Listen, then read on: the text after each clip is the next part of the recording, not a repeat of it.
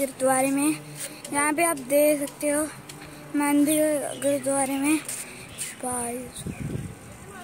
यहाँ पे बस यही है यही है बस।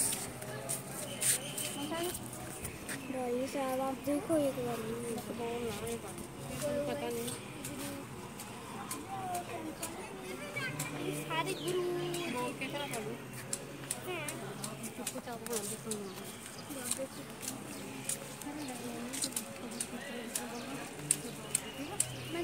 Shh.